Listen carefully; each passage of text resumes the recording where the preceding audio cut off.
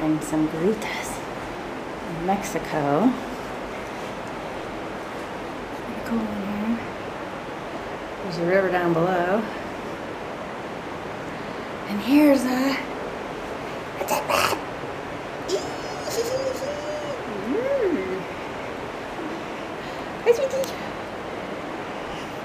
Hi.